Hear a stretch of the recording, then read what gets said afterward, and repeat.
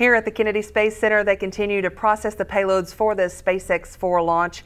And today we're going to talk about one of those payloads. It's called Micro 8, and it's studying yeast in space. Joining me now is Sheila Neilsen. She is the principal investigator for the Micro 8 uh, project and also Fathi Karouia, and he is from the Ames Research Center. You're the project scientist. Thanks you, you both for joining us today. First of all, tell us about Micro 8.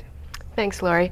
Micro 8 is our opportunity to evaluate how yeast uh, or cells in general respond to the microgravity environment. In our case, we're working with the yeast Candida albicans, which is an opportunistic pathogen. It causes the superficial and usually easily treatable infections like thrush and fungal nails, but it can be a, much more of a concern for some individuals. So Micro 8 is an extension of Micro 6 that we launched two years ago, and we took what, what we learned from that experiment and are generating um, additional experiments to sort of take that research one step farther on Micro 8. Why do we study this? Does it benefit us here on Earth? Does it benefit future spaceflight? Why do we study it? Right. Well, I actually think of the experiment sort of as a threefold process. The first and, and most basic scientifically is to understand how, ye- how cells in general respond to extreme environments which microgravity certainly is an extreme environment. And that just gives us some, some general information on cell behavior and cell function. The next level is to understand how potential pathogens could affect flight crew, especially as we look forward to longer terms um, in space. And then the third piece, as you mentioned, was what does this tell us about the organisms on Earth. And because this yeast is a potential pathogen and does cause disease in, in immunocompromised people, people who've had surgeries or have diseases that compromise their immune response, it can teach us a lot about how those organisms function within parts of the body that we can't easily access and then allow us to understand the disease process and develop therapies potentially to, to improve outcomes of that. And so, Fathi, the um, Ames Research Center is responsible for these micro payloads. What, what is the interest there with, with Ames, and, and why, do, why do you guys want to be involved with this? And how does it work with Bioserve and Sheila's from Montana State University? Tell us how that all works.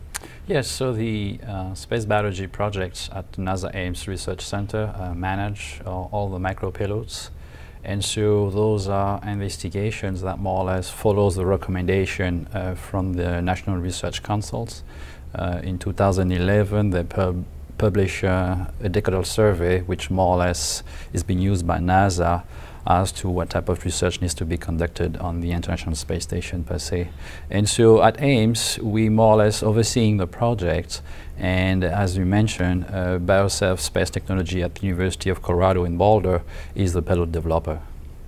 All right, and Sheila, you talked about, we've learned a little bit so far. Tell us what we've learned. Okay, we, we flew on SpaceX 1, which was our first opportunity as well as, as Space Expeditions.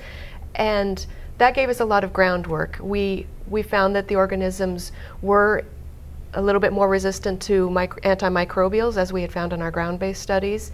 Uh, we found we, we were able to compare their growth rates to those experiments that we were doing comparably on ground.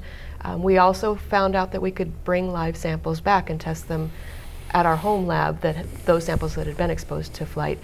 Uh, and so there was a lot of the basic information that we were able to, to garner from that first flight.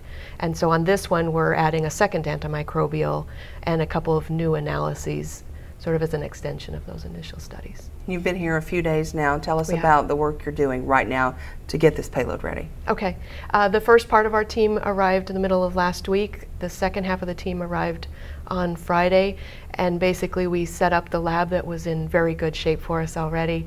Uh, we had a lot of equipment that we brought from home basically got all of the equipment sterilized, media made, and then on Saturday, what happens here is we actually build the experiments within the hardware provided by a Bioserve. And it's at least a two step, if not a three step process.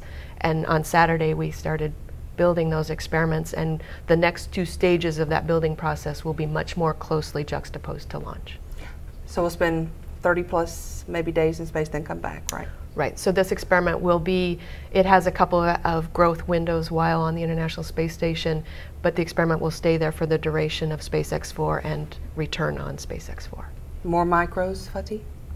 Yes, hopefully. Uh, I mean, uh, we're expecting uh, uh Micro 9 uh, to come up on SpaceX 6. Okay. So we'll be uh, actually also using the same model organism, which is yeast, but it will be different uh, type of objectives and uh, scientific, uh, I guess, investigation.